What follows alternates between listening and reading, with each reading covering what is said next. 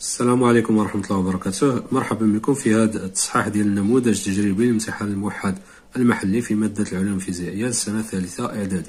التمرين الأول إملاء الفراغ بما يناسب. تنقسم المواد إلى ثلاث مجموعات رئيسية. كيف ما شفنا في الدرس الأول أن المواد كتنقسم لواحد ثلاثة المجموعات اللي هي الفلزات والزجاج والمواد البلاستيكية. إذا آه، ثلاث مجموعات رئيسية هي الفلزات يمكننا باش ما بغينا نبداو والزجاج والبلاستيك ولا المواد البلاستيكية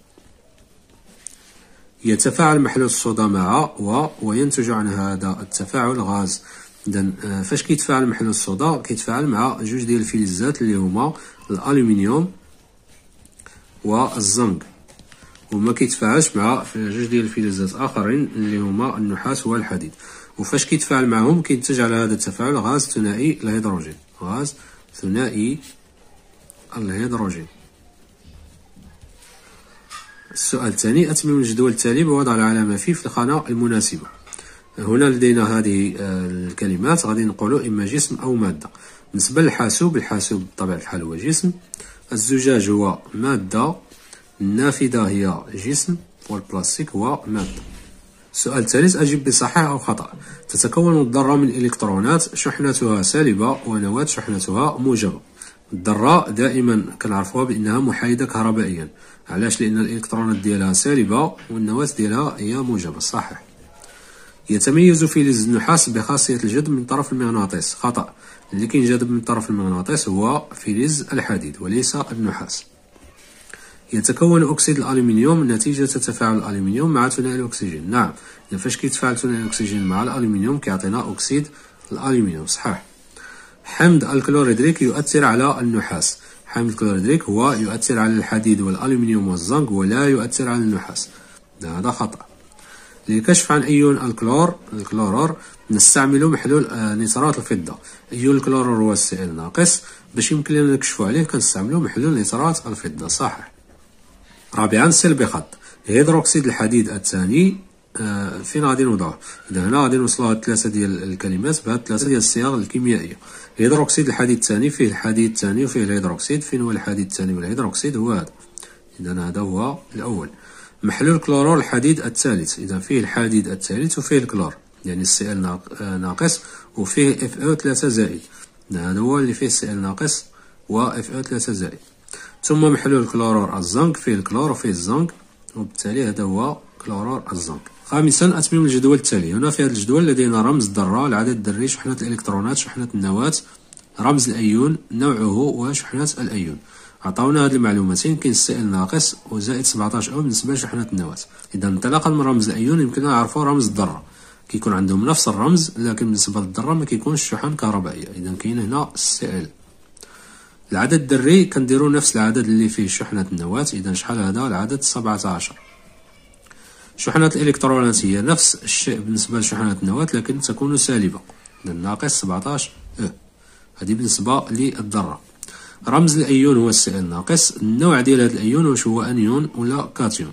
طبيعة الحال بما أن عنده ناقص فهو أنيون. الكاتيون كيكون أيون موجب. شحنة الأيون كنشوفو الرمز ديال الأيون وكناخدو الشحنة. شحال كاين هنا الناقص؟ كاينة وحدة. إذا كنديرو ناقص أو والشحنة دائما كتكون متبوعة بالشحنة الابتدائية. أو رمز الذرة بالنسبة للثاني هو زد إن يعني الزنك. العدد الذري هو ثلاثون. شحنة الإلكترونات ستكون هي ناقص ثلاثون. أو شحنة النواة تكون زائد ثلاثون e. يعني كناخدو نفس الرقم. وهنا بالنسبة لشحنة الإلكترونات كتكون ناقص شحنة النواة كتكون زائد. بجوج فيهم كنديرو آه. رمز الأيون كناخدو نفس الرمز ديال الذرة اللي هو Zn.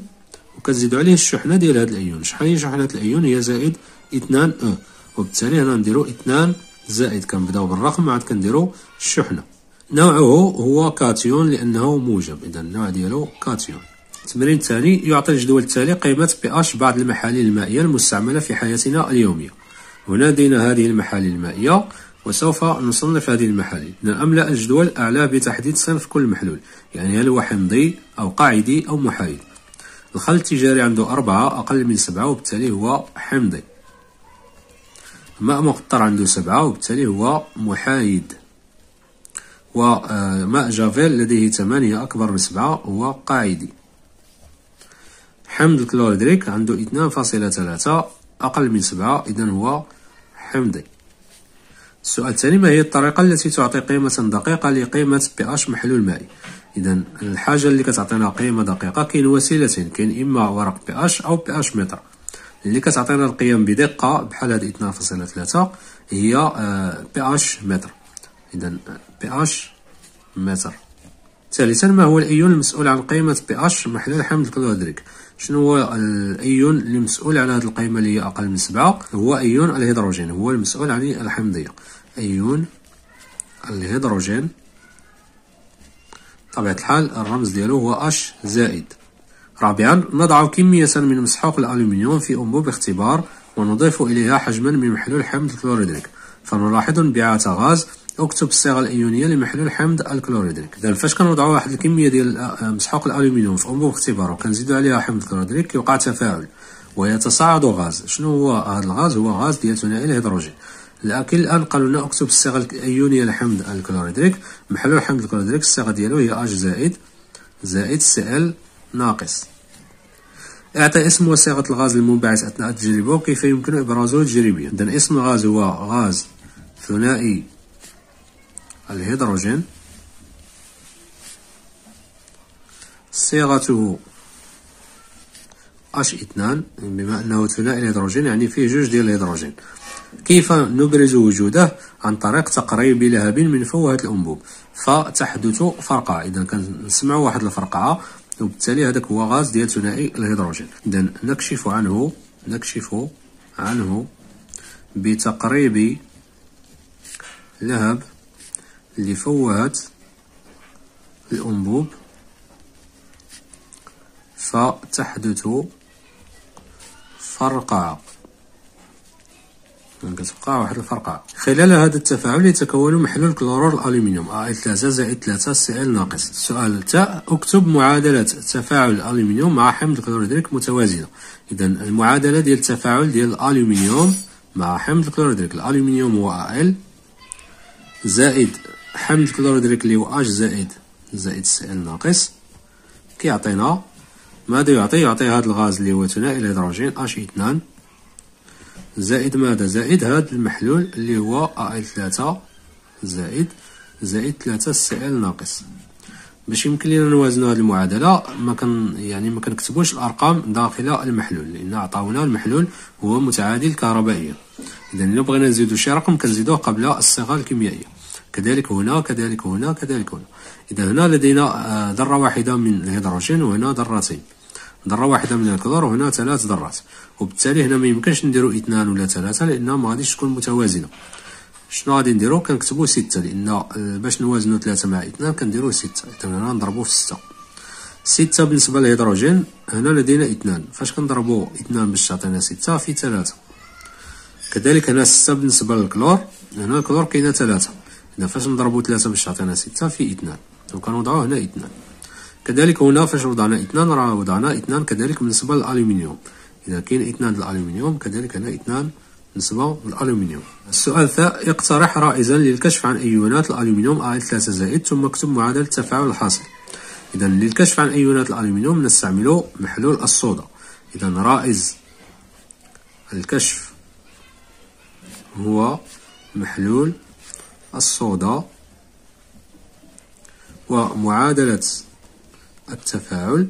إذا شكون هما اللي كيتفاعلوا؟ بطبيعة الحال للكشف عن الأيونات أ ثلاثة زائد غادي نكتبو أ ثلاثة زائد في معادلة التفاعل. إذا أ ثلاثة زائد. زائد ماذا؟ بالنسبة للمعادلة ديال الترسيب بمحلول الصودا كنديرو أو أش ناقص. وشنو كتعطينا؟ كتعطينا أ اثنان ولا أ أو أش ثلاثة راسب هنا لدينا ثلاث شحن موجبة بالتالي هنا خصو يكون ثلاثة شحن سالبة. هنا نوضعو ثلاثة. إذا هذه معادلة التفاعل. خامسا نعطي العدد الذري للألومنيوم زد كتساوي ثلاثة عشر. ألف هل فقد أي الألومنيوم أ ثلاثة زائد ثلاث إلكترونات أم اكتسبها؟ كنشوفو هاد الشحنة الموجودة على الألومنيوم شنو هي شحنة موجبة؟ شحنة موجبة كتعني أن الأيون فقد ولا الذرة فقدت إلكترونات لكي تتحول إلى أيون. إذا هل فقدت هذه الذرة ثلاث إلكترونات أم اكتسبتها؟ فقدت ثلاث إلكترونات. إذا فقد ثلاث إلكترونات. باء يعطي بدلالة أو ثم بدلالة الكولوم شحنة أيون ألومنيوم أ ثلاثة زائد. بدلالة أو كنشوفو فقط هاد الرمز ديال الأيون ومنها كنعرفو شحال كتساوي لنا الشحنة إذا كاينة ثلاثة زائد وبالتالي هنا نديرو زائد ثلاثة. إذا كي كتساوي لنا زائد ثلاثة أو. شحال كتساوي لنا هاد أو؟ هي واحد فاصلة ستة في ثلاثة في عشرة أس ناقص ستاطاش إذا هادي كتكون معطية في التمارين. إذا بدلالة أ حنا صوبناها بدلالة الكولوم كنعوضو هاد أ بقيمتها. بواحد فاصلة ستة في عشرة أس ناقص ستاطاش كولوم. إذا تساوي كنديرو نفس العدد زائد ثلاثة في أ اللي هي واحد فاصلة ستة في عشرة أس ناقص تسعتاشر كولوم. تساوي ثلاثة في واحد فاصلة ستة هي أربعة فاصلة ثمانية عشرة أس ناقص تسعتاشر كولوم. التمرين الثالث خلال بناء منزل في مدينة شاطئية أراد والد هشام استعمال نوافذ الحديد نظرا لثمنه المنخفض. لكن ابنه هشام اقترح عليه استعمال الألومنيوم بدل الحديد واعتمادا على ما درسته فسر لماذا اختار هشام الألومنيوم بدل الحديد. إذا علاش اختار الألومنيوم بدل الحديد؟ بطبيعة الحال لأن الحديد شنو كيوقع له؟ الصدأ نظرا لوجود الهواء الرطب. مدينة شاطئية يعني أن ذات المدينة فيها هواء رطب كيكون محمل كذلك بالملح وبالتالي تتزايد نسبة تكون الصدى. كنختاروا الألومنيوم لأن الألومنيوم ماشي أنه لا يتفاعل مع الهواء بل كذلك يتأكسد بالهواء. لكن عندما يتأكسد تتكون طبقة الألومين التي تحمي الألومنيوم من التآكل. لكن الحديد عندما يصدأ كيوقع له التآكل. إذا لماذا اختار هشام الألومنيوم بدل الحديد؟ لأن الحديد يتأكسد في الهواء. الرطب ويتكون الصدأ الذي يؤدي إلى تآكل الحديد. بينما عندما يتأكسد الألومنيوم تتكون عليه طبقة الألومين التي أو الكتيمة بعد نقول بأنها كتيمة التي تحميه من التآكل. ما كيقالوش تآكل ولذلك نختار الألومنيوم بدل الحديد. في حالة تمسك الأب برأيه ماذا يجب عليه أن يفعل لحماية النوافذ من التآكل باش يمكن له أنه يحمي النوافذ من التآكل رغم أنه صنعها من الحديد. يجب عليه إما صباغتها أو طلاؤها بفلز لا يؤثر عليه الهواء. إذا يجب عليه إما صباغتها يعني صباغة النوافذ أو طلاؤها ب مادة ولا بفلز لا يؤثر عليه الهواء. ثالثا اكتب معادلة التفاعل بين الألومنيوم وثنائي الأكسجين. معادلة التفاعل كنكتبوها عن طريق المتفاعلات ثم النواتج. المتفاعلات هما الألومنيوم وثنائي الأكسجين الألومنيوم هو أل زائد ثنائي الأكسجين اللي هو أو اثنان. شنو كيعطينا كيعطينا الألومين اللي هو أل أو اثنان أو ثلاثة. لكي نوازن المعادلة نبداو بالأكسجين. هنا لدينا ثلاثة وهنا لدينا اثنان. لكي نوازن اثنان مع ثلاثة نضرب اثنان في ثلاثة وثلاثة في اثنان. إذا نضرب اثنان في ثلاثة كتولي ستة وثلاثة كنضربوها في اثنان باش تولي كذلك ستة. وهنا لدينا الألومنيوم فاش ضربناها في اثنان ولات أربعة. اثنان في اثنان هي أربعة. كذلك هنا لدينا واحد نضربو في أربعة باش تولي المعادلة متوازنة. هذا التصحيح ديال هذا النموذج. التجريبي للامتحان الموحد المحلي. نتمنى لكم التوفيق والسلام عليكم ورحمة الله وبركاته.